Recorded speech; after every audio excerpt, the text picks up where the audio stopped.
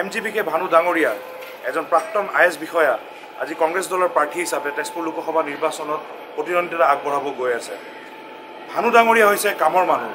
আমি সকলোৱে জানো আমি অসমবাসীয়ে জানো আমি তেজপুৰ লোকসভাবাসীয়ে জানো যে M G B K Bhanu ডাঙৰীয়া যেতিয়া এজন অসম চৰকাৰৰ এজন যেতিয়া তেওঁ বিষয়া হৈ আছিলে যথেষ্টখিনি তেওঁ কাম কৰিছিলে। ৰাইজৰ হকে তেওঁ আগবাঢ়ি আহিছিলে ৰাইজৰ লগত থাকি তেওঁ কাম কৰিছিলে ৰাইজৰ উন্নয়নৰ বাবে তেওঁ যিখিনি কাম কৰিছে আমি সকলোৱে জানো। আৰু তেনেধৰণ ব্যক্তিক যদি আমি তেজপুৰ লোকসভা সমষ্টিৰ পৰা যদি তেওঁক সাংসদ কৰি আমি দিল্লীলৈ পঠাব পাৰোঁ তেওঁলোকে আমি গম পাম যে তেওঁ যথেষ্টখিনি কাম কৰিব পাৰিব।